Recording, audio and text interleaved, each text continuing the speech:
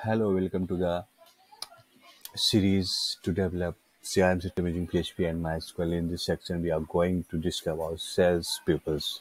Sales pupil is an important section in CRM system in which they can access tasks, view leads, manage, create tasks, etc. So here, as we have already stored sales details in CRM users table, so we will now we will log in using sales pupil to access the sales section to manage tasks and other details. So we are going to log in using sales pupil. Now we have uh, we, we are successfully logged to sales section using sales login. Now the sales sales people can access tasks, lead opportunities, customer when reporting it is to all these things will be handled in this section. So the sales people can manage tasks. They can they, they can manage tasks and lead these opportunities. So first we will discuss about how we, we have implemented tasks.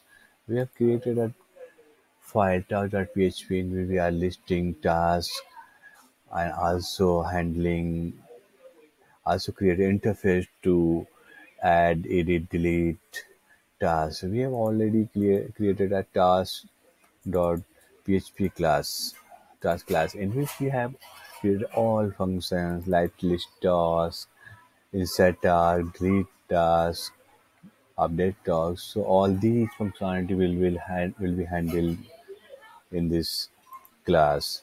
We have also created a class opportunity in which we are handling opportunities, uh, the functionality related to functionalities uh, to manage opportunities. We have also created a class leads in which we are implementing functionality to manage leads functionality like add, edit, delete by sales purpose. So all these functionality are uh, handling in tasks, opportunities, leads by sales team. So this is a very important sex part of CRM system.